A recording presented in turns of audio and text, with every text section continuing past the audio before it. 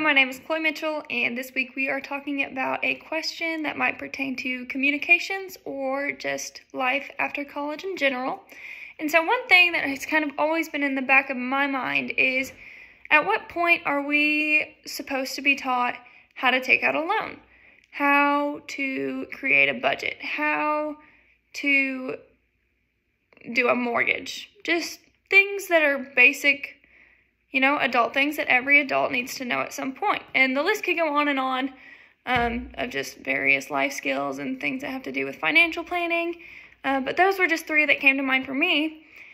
And it made me think back to uh, in eighth grade when we were required to take home economics. And so in this course, we learned how to use a sewing machine. Uh, we learned how to preheat an oven and bake. And we learned some recipes and just kind of how to cook a few, just basic things.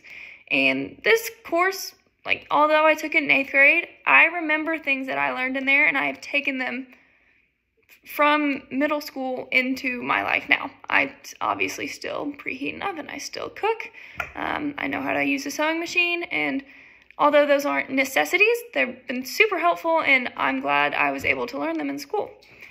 And so, my question is what, at what point are we expected to know all of this. And I feel like society kind of puts this pressure, this ex- expectation that your parents are supposed to just sit down with you one day and walk you through how to do all of these things. And it's just a known, but it's also a known thing that not everyone has parents who are willing and able to do this. Not everyone's parents are living, not everyone's parents are um, supportive, not everyone's parents not everyone is going to have that loving parent role who is willing to sit down and just show them how to do all the things that they're going to need to know. And so I just think that in college that that colleges all across America might be missing the mark.